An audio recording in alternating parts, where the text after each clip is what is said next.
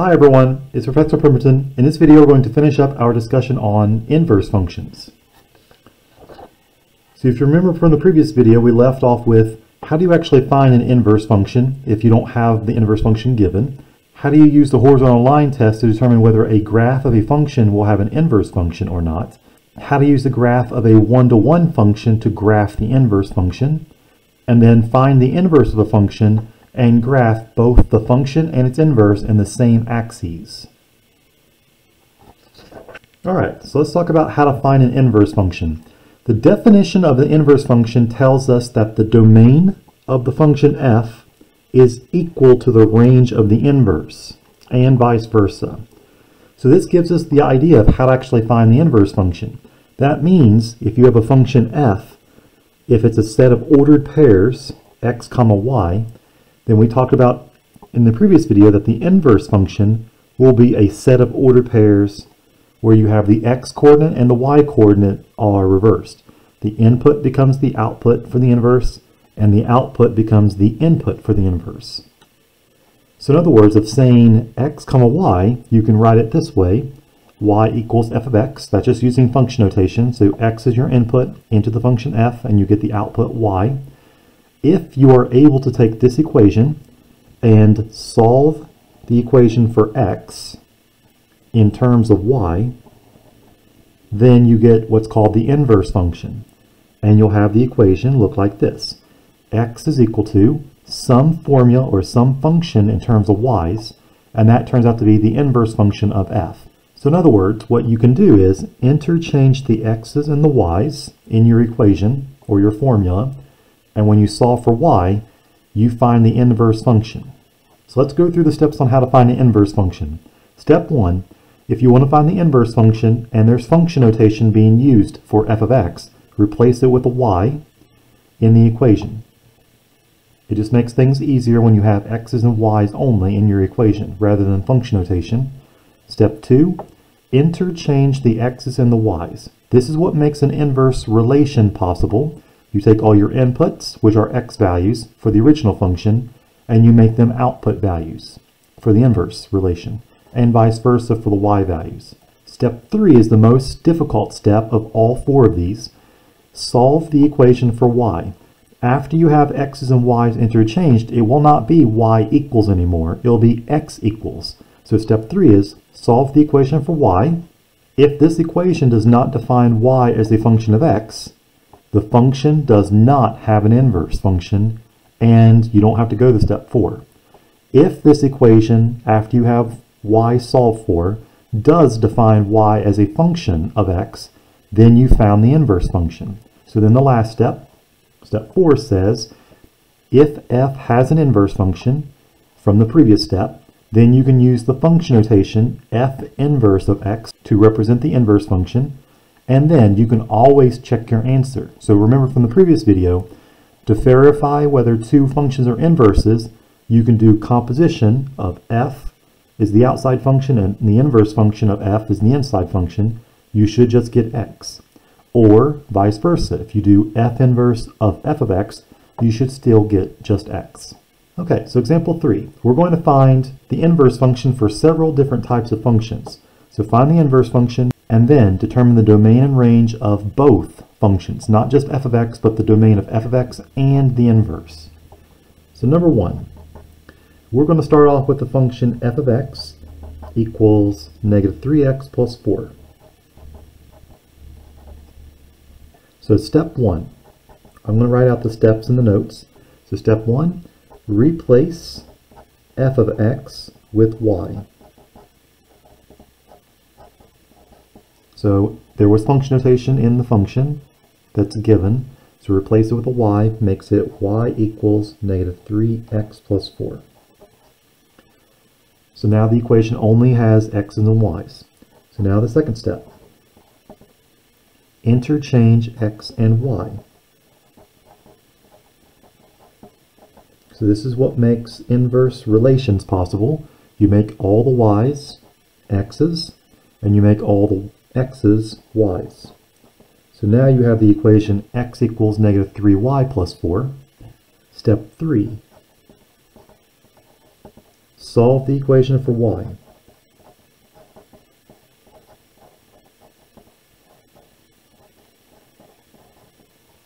And I'm going to say if possible, because we know that from reading the steps, it may not be possible to define y as a function when you have y solved for. So this is where all the algebraic steps are. First two steps are pretty quick. So now the second step was x equals negative 3y plus 4. We need to get y by itself. So take this equation, subtract the 4 first to both sides of the equation. So you'll have x subtract 4 is equal to negative 3y. And now divide both sides of the equation by negative 3. So you'll have y is equal to x subtract 4 divided by negative 3. So this equation defines a function because for every input value, there is exactly one output value. So then the last step, step 4, is if there is an inverse function, now you can use function notation to represent the inverse. So the last step is to replace y with f inverse of x.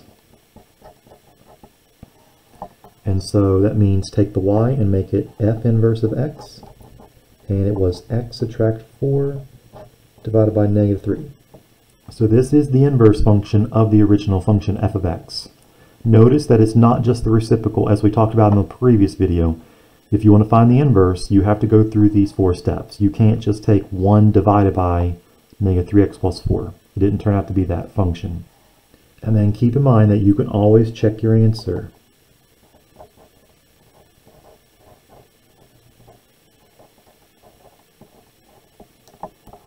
By verifying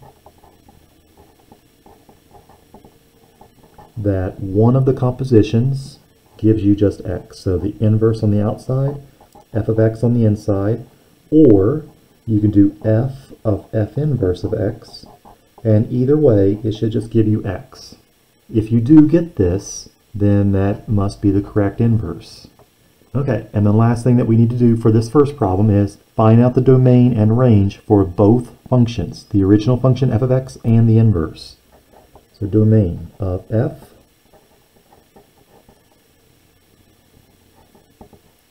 So f of x was a linear function, negative 3x plus 4. The slope is negative 3 and the y-intercept is 4. Notice that you're not dividing by x, so you'll never divide by 0 and you'll never be taking a square root or an even root of a negative number. So the domain is the set of all real numbers, so negative infinity to infinity. If you remember from the previous video, we also found out that the domain of f is equal to the range of the inverse function. So we get this for free. You get the range of the inverse is automatically all real numbers. So now let's find out what the range of f is. it's much easier to find a function's domain using its formula. So range, we'll leave for a second. It is equal to the domain of the inverse function. So let's look at the inverse. You are dividing by negative 3. So you're never dividing by 0. That's good. And you're never taking an even root of a negative number. So it looks like the domain of the inverse is equal to the range of the function f is also all real numbers. Okay, so let's try a couple more problems. Number two, this time the function is going to be called g of x, and it is 3 divided by x, and then subtract 1. So notice that there's an x in the denominator, so this is what's called a rational function. We're going to find what the inverse function is, if one exists, by going through the steps again. So step 1, replace the function notation, so replace g of x with y. So that makes it y equals 3 divided by x, then subtract 1. So that makes it much easier to solve for y, or x. So step 2, interchange x and y.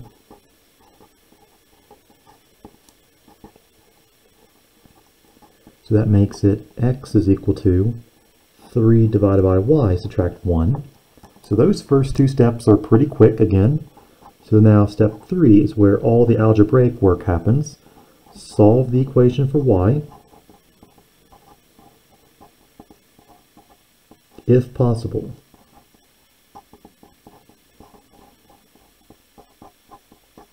Alright, so let's see how you get y by itself. Well, notice that y is in the denominator, So you can't just divide by y because y is already in the denominator. Let's add 1 to both sides of the equation. So if you do that, you'll have x plus 1 is equal to 3 divided by y. You want to have some way of getting the y out of the denominator. So let's do what we did earlier in the, in the course by multiplying by the least common denominator on both sides of the equation. So multiply the left side of the equation by y, so y times x plus 1, and also multiply the right side of the equation by y. So 3 divided by y times y. So notice that the y divided by y cancel each other out. And so what you have left is y times x plus 1 is equal to 3. And you want to be able to get y by itself, so now divide both sides of the equation by x plus 1. So you want to undo the multiplication, so divide, and you'll get 3 divided by x plus 1. And so it was possible to get y by itself, so that means y defines a function of x. So that means we need to go to step 4 now. Step 4 is replace the y with the inverse function. So replace y with inverse notation. Well, this function was called g, so this will be g inverse of x. And so the inverse of g of x would be 3 divided by x plus 1. Okay, and again, keep in mind that you can check your answer.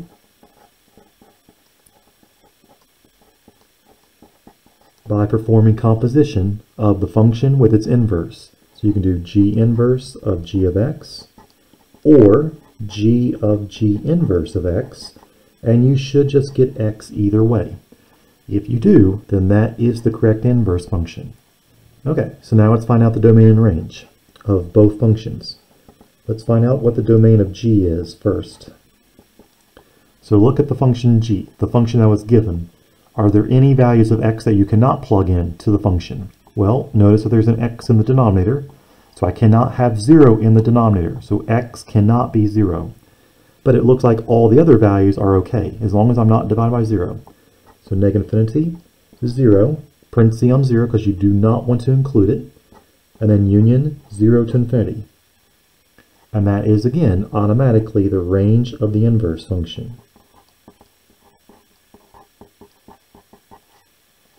Okay, and then if you want to find the range of the function g, find the domain of the inverse. So let's do that. If you want to look at the inverse function, you have 3 divided by x plus 1. What x value can you not substitute into this inverse function? Well, I want to make sure the denominator is not 0, because I have a fraction involved. So x plus 1 cannot be 0 means x cannot be negative 1. So negative infinity to negative 1, union negative 1 to infinity, and that is the domain of the inverse function.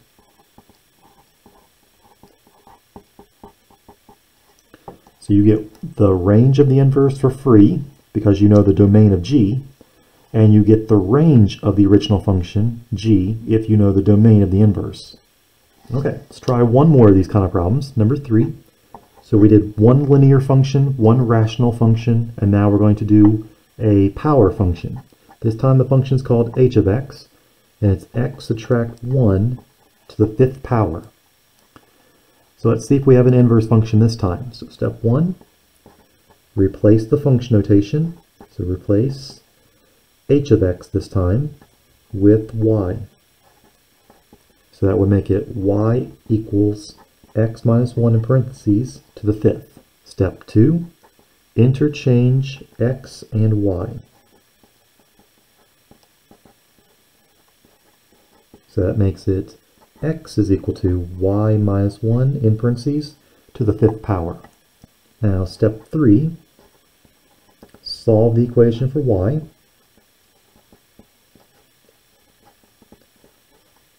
If possible.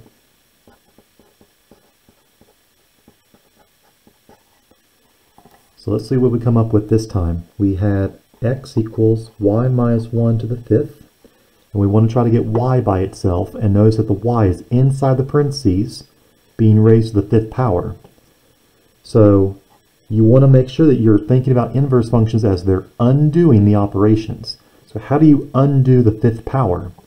Well, you can take the fifth root. So take the fifth root on both sides of the equation. So fifth root of x is equal to the fifth root of y minus 1 to the fifth power. So the fifth root of y minus 1 to the fifth just becomes y minus 1. And it equals the fifth root of x. So now we want to get y by itself. So add 1 on both sides of the equation. So y is equal to the fifth root of x. And then add 1 outside the root. So again, this equation is a function of x because y is defining a function. So then the last step, so now that we know the function has an inverse, replace y with the inverse notation, which would be h inverse of x this time. So you would have the inverse of h of x would be the fifth root of x, and then add 1. All right, and again, check your answer by performing composition. h inverse of h of x or h of h inverse of x must be equal to x by itself. If you don't just come up with x when you check your answer, then that was not the correct inverse, and you might want to go back and check your work on the four steps. So once we have the inverse function, now we can find out the domain and range. Let's find out the domain of h. So h of x, let's see, are you ever divided by 0? No. Are you ever taking an even root of a negative number? Nope. I only see a positive 5 power, that's an odd power. So the domain is the set of all real numbers, which is the range of the inverse of h. And now find the range of h by finding the domain of the inverse. So let's look at the inverse function. Notice that there is a root this time, but it's an odd root. It's the fifth root. You only have to worry about the even roots of negative numbers. So again, this would also be all real numbers because there are no x values to exclude from the domain of the inverse. So this gives you a variety of different types of functions that you can find the inverse for. We had a linear function, a rational function, and then also a power function. So now the last part of the video is talking about how do you associate graphs with having an inverse function. Well, let's talk about what's called the horizontal line test and one-to-one -one functions. So recall that a function provides exactly one output for every input value, so let's look at the function f of x equals x squared. And we know that this is a quadratic function because the highest power on x is a 2. So f of x equals x squared. Let's see if this function has an inverse or not. So let's go through the four steps one more time. So step one, replace the f of x with a y.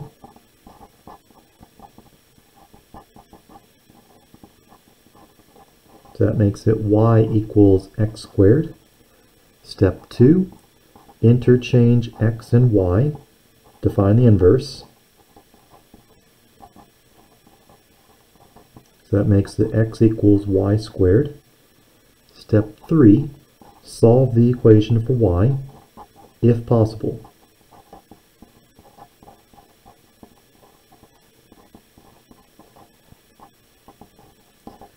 So step two gives you the inverse relation. Now we're going to find out, is the inverse relation actually a function? So we have x equals y squared. If you want to get y by itself, you're going to have to use the square root to cancel out the square power. So take the square root on both sides. You have plus or minus. Keep in mind that anytime you use a even root to cancel out an even power, you have to remember the plus or minus. So plus or minus square root of x is equal to the square root of y squared, and that will simplify to y is equal to plus or minus square root of x. And so this means that y is equal to the square root of x, or y is equal to the opposite of square root of x. So notice that there is not just one function or one formula that's defining y as a function of x. There are two. So any particular x value that I find, I'm going to have two y values. It's not possible to solve for y uniquely.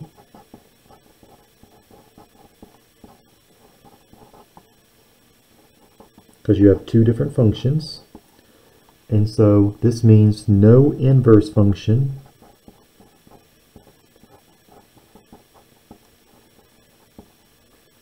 exists for f of x, which was x squared.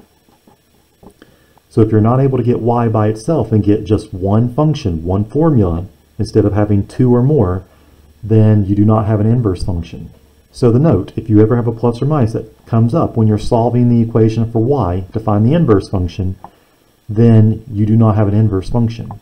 So we can use a few solutions to the quadratic function to illustrate numerically that you do not have an inverse. Okay, keep in mind that the f of x equals x squared is still a function, it just it will not have an inverse function. So the top line is y equals x squared, or f of x equals x squared. If you substitute in negative 2, you get y value is 4. Negative 1, you plug it in, you get positive 1 for y. x equals 1 gives you y equals 1, and x equals 2 gives you y equals 4.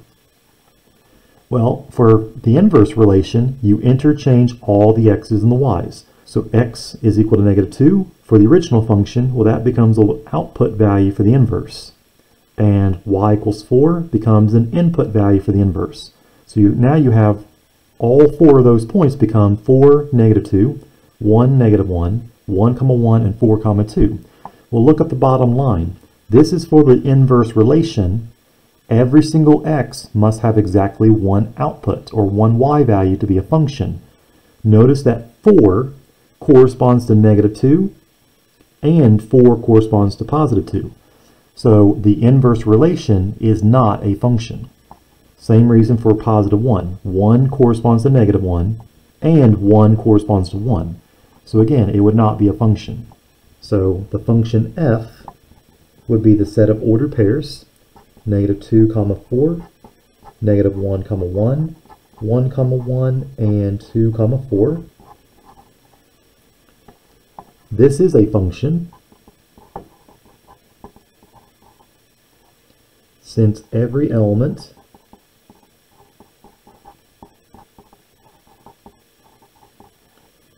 in the domain corresponds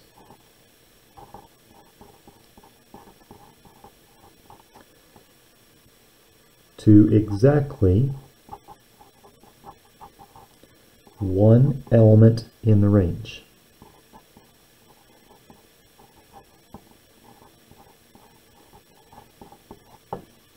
But if you write the inverse relation, that would be 4, negative 2, 1, negative 1, 1, 1, and positive 4, comma 2. Well, we know that this is not a function. So we cannot use the notation f inverse because it's not a function. And it's not a function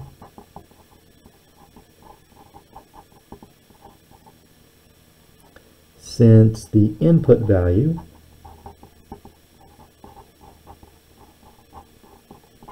I'm just going to use the number 1 this time, corresponds to two different output values.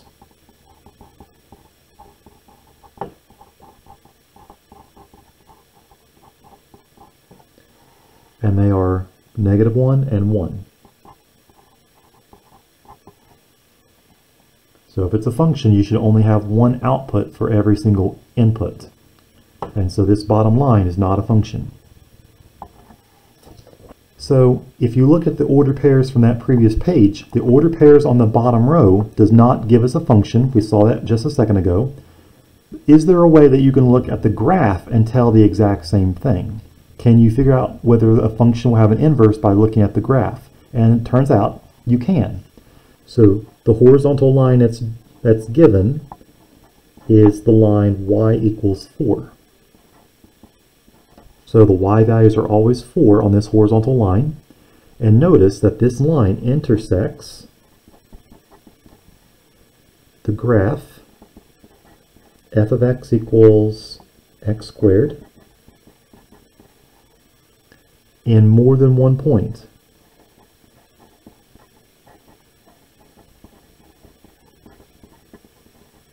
Now what does that mean? Well, if you have y equals 4, the y values are the input for the inverse. So if you're inputting 4 into the inverse function, you should only have one output value. Well, if it hits the graph more than once, you have an output of 2, and you would have an output of negative 2. So no inverse function would exist because you have more than one output value.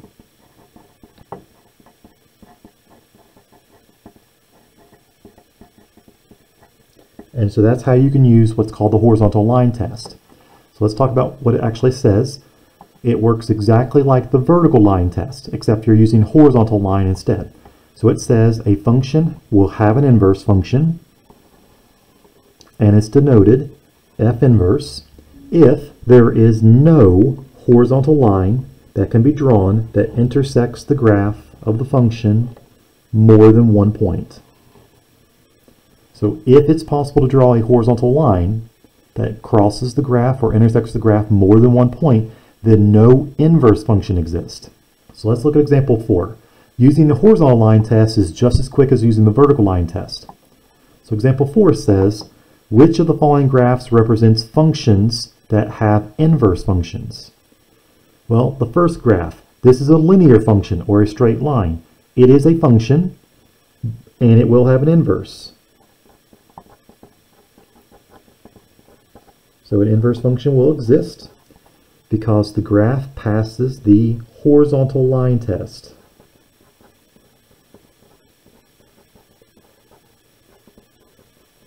So any horizontal line I draw will hit the graph no more than one time. Now, if you have a parabola, whether the parabola opens up or this time it opens down, no inverse function exists.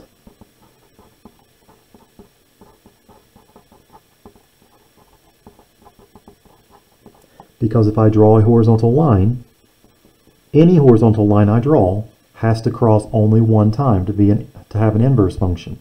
But if I draw a horizontal line here, it intersects the graph more than once.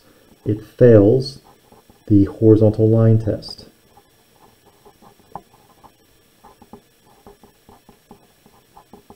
Same thing for the third graph. If I draw a horizontal line, I can intersect the graph more than one time. So it intersects three times here. So, so this function does not have an inverse, nor does this function have an inverse.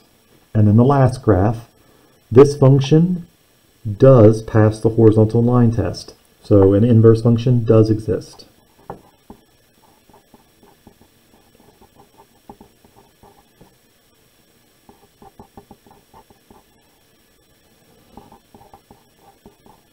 and it's because it passes the horizontal line test.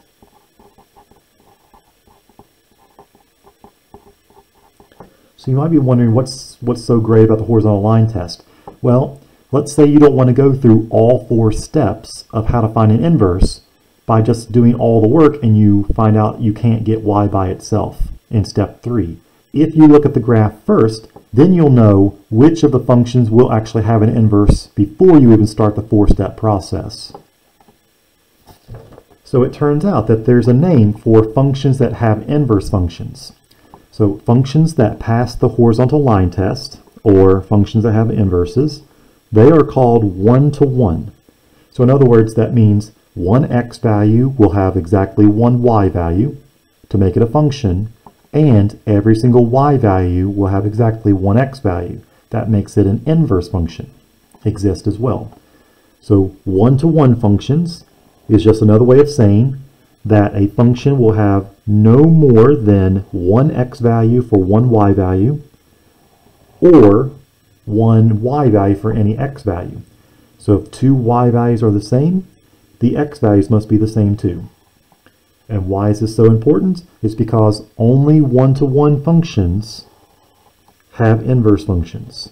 So this means that any function that passes the horizontal line test, they are called one-to-one -one functions, and they will also have an inverse function. So let's look at the last thing in this section. How do you actually find the graph of an inverse function? So there's a relationship between the graph of a one-to-one function and its inverse function.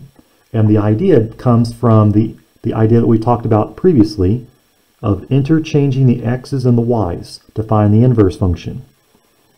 Well, you can do the same thing with graphing as well. That will give you a method to find the inverse function's graph from the graph of the original function. And here's the idea. Suppose that a comma b is a point on the graph of a one-to-one -one function. So a function that will have an inverse. And that function is called f. So if you plug in a into your function f, the output is b. So you can write it this way. f of a equals b. Well, if there is an inverse function, that means you can input b and you can get a for your inverse. So that means if you input b into your inverse function, your output will be the value a. Well, you can write that as a point. Input b, output a. So that's b comma a as a point on the graph of the inverse function. And it turns out that you can do that for every single point on the graph of f. So let's look at the figure. So let's look at the graph that's in blue, or this graph that's increasing from left to right. Okay, notice that there's a point A comma B that's plotted on this graph.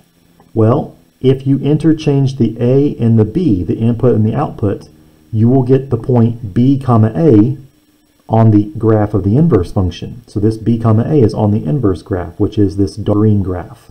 So let's give an example. Let's say the point 2 comma 3 is on this graph of f of x.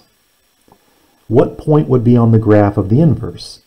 Well, it would become 3 for the input, because 3 would be out was the output for f, and 2 is the output because 2 is the input for f of x. And you can also do this for the y-intercept. 0 comma b is the y-intercept here. If I interchange the x's and the y coordinates, then I get an x-intercept, which would be at b comma 0. So if you do this for every single point on this graph that's in blue, you're going to find out that the graph that's the inverse is a mirror image across a line of symmetry. So there's the symmetry, or there's the reflection for that point. Here's the reflection for a comma b, and then this is the reflection for 2 comma 3. There's a line of symmetry that's the line y equals x. So this is a symmetry line.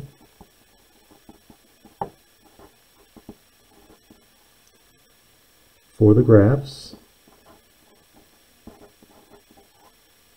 of f of x and the inverse function, f inverse of x. So in other words, if you have the graph f of x, you can find the inverse graph by reflecting across the line y equals x. And so for the last example, example 5, we are going to graph the inverse function when we're given the graph of the original function f of x. And we're going to graph the two functions in the same coordinate plane. Alright, so let's make our coordinate plane first So y-axis, x-axis, and it does help to draw in the line of symmetry. So this dashed line is the line y equals x, or the symmetry line between the two functions. So here's the graph of the original function. Your original function will pass through the point 0, negative 4, which is the y-intercept. It will pass through 1 comma negative 3, 2 comma 0, which is the x-intercept, and then 3 comma 5. And so the graph of f of x looks like this, with an arrow on the end. We're going to graph the inverse function by using every single point on the graph of f. So if 0 comma negative 4 is on the original function, then negative 4 comma 0 is on the inverse. And this would become an x-intercept instead of a y-intercept. 1, negative 3 would be negative 3 comma 1 on the inverse. 2 comma 0 is an x-intercept for the original function. 0 comma 2 would be a y-intercept for the inverse function. And then 3 comma 5 would become 5 comma 3.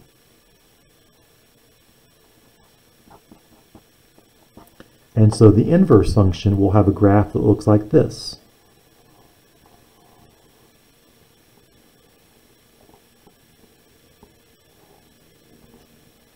So notice that these two graphs should be symmetric with respect to the line y equals x. This point where the two lines intersect, that should be on the line y equals x, if all the tick marks are evenly spaced. And so this original function is f of x equals x squared subtract 4, and it's given as x is greater than equal to 0. So the domain of the original function is bracket 0 to infinity, and the range is from negative 4 for your y values to infinity. Well, the inverse function would have the complete opposite. The inverse function would have a domain negative 4 to infinity, just like it is in the graph, and the range of the inverse would be 0 to infinity, just like it is in the graph. So this finishes up our discussion on inverse functions, how to find inverse functions using the four-step process, how to use the horizontal line test, and then also how to graph the inverse function given the original function. If you have any questions about any of the examples in this video, please let me know. And if you have any questions while you work on the homework in terms of inverse functions, please let me know that as well. And I'll see you at the next video when we talk about solving linear equations.